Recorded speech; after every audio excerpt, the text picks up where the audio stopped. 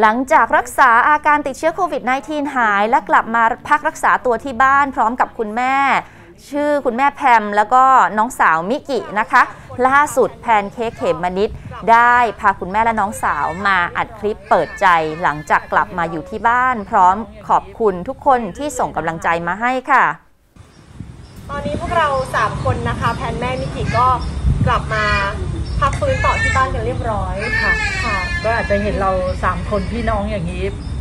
เรื่อยๆนะคะ ที่จะสามคนพี่น้องสามคนพี่น้องนะคะ ค่ะ ที่จะมีการอัปเดตความคืบหน้าต่าง อาจจะยังไม่ได้ร้อยเปอร์เซ็นต์เนาะใช่แต่เราก็ยังต้องต้องพักอะไรเงี้ยค่ะ แล้วก็คอยดูอาการของตัวเองอยู่ตลอด ใช่ค่ะแล้วให้กำลังใจตัวเอง ๆ ให้กำลังใจตัวเองถูก สำคัญมาก ๆ เลยคือการให้กำลังใจนะคะ ตัวเองแล้วก็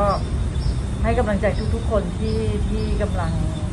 เป็นโควิดเหมือนกันเนี่ยนะคะ เราเราต้องไม่ไม่ยอมแพ้ต้องไม่ยอมแพ้นะคะ แล้วก็อยู่บ้านเราก็เอ่อยังคงปฏิบัติตามเอ่อข้อควรปฏิบัติจากคุณหมอใช่อย่างเคร่งครัดเคร่งครัดเช่นเดิมใช่ค่ะอยู่ในบ้านเราก็สวมใส่แมสกัน คือจริงๆ แทบจะตลอด ที่เราต้องปลอดภัยไว้ก่อนถูกต้องแล้วถูกต้องยังคงล้างมือบ่อยๆนะคะ เหมือนอย่างที่คุณหมอ